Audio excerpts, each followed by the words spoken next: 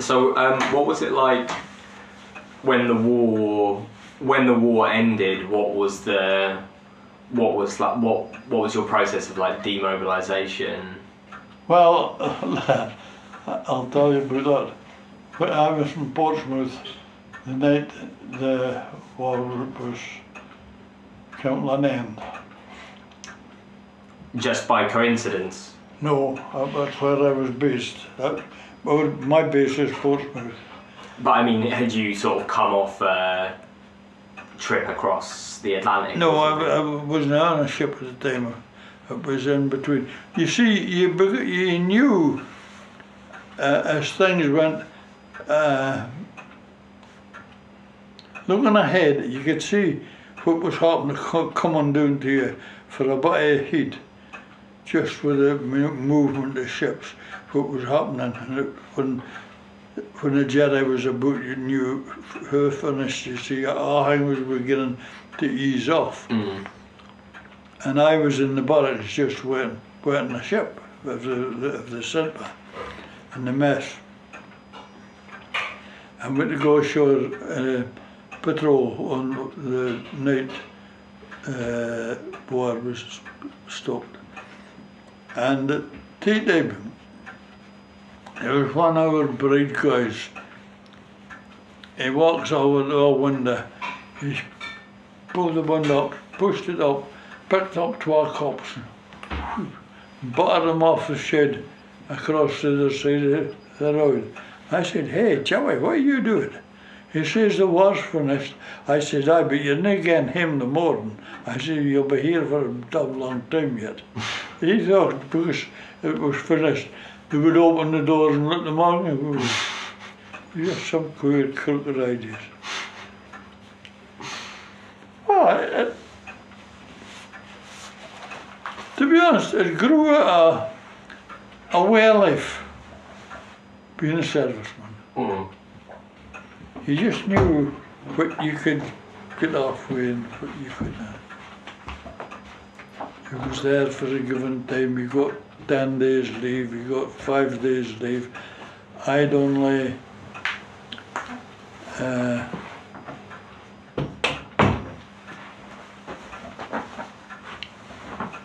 oh no.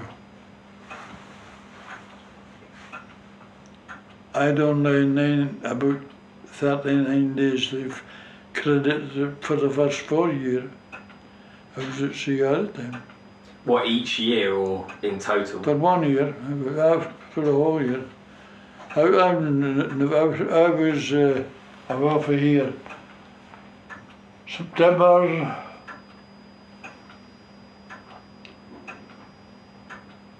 did we come back?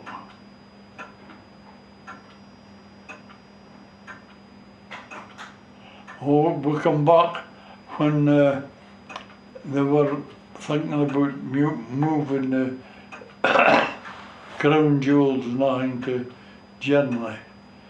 And we loaded gold at uh, uh, in an English port and took it to Canada.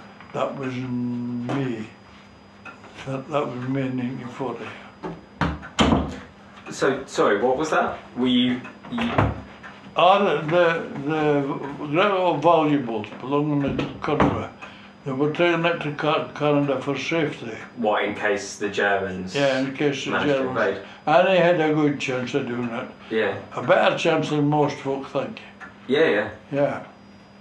And uh, eh, the big, a big, well, we were big liners, and they just put it in the strong room, took it across the Canada. That was our first. I think it was April. April was the first that we went. We went to Army, 1939.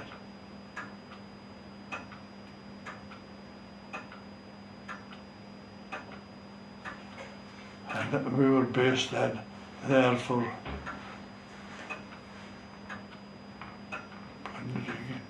when did I go east?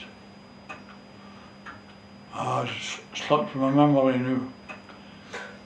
So when you were, when you were, uh, you know, when the war ended, how long were you How long did you stay in the service? Well, the, the war ended and uh, the, um, the victory with Japan was in the later part of the year. I don't mind when, now, whether it was October or, or before that, I think. Well, I was home uh, at the New Year. I got dis, uh, discharged at the New Year. What was it like making the change from being in the service and having everything, Oh. you know, roughly sort of like Well. structured for you back to normal life? When I come out, I knew just exactly what I was going to be. I was going back to the sea, you know. Well, just back joining fishing again. Back, back, got my lines out, prepared them, and got a bird from fire and back to. What was it? Just as soon as you got back, you were straight out again. so it wasn't. It wasn't a a difficult transition for you, or No, it wasn't for me, but but it, it could have been for depending on the kind of job. Because you see, there was quite a quite a lot of jobs that had been taken out of uh, use books that were useless to the country. The Yeah. coun- country had moved ahead, I mechanically and electronically during this, the war. And you see, there was a great lot of jobs created, but there was also a great lot of jobs pushed aside, so, So- what? Like such as farming. Farming, the they had the plough, the horse up here. It was all horse horse ploughs up here. But you see, after the war, that was the first big change you saw. The horses disappeared from the fields. The tractors come on and go. so, it was all because of the war Yeah. effort. You needed to sort of be uh, more efficient. so there was more, How it, that's how it changed. yeah, more mechanization and Yeah, automation and stuff. that's how it changed. So, Oh, so, so, so presumably there would be people coming back to find that the thing that that they'd done all through their life had just disappeared, and they had That's to right. find something else to do. Yeah, but some other thing has cropped up to its place.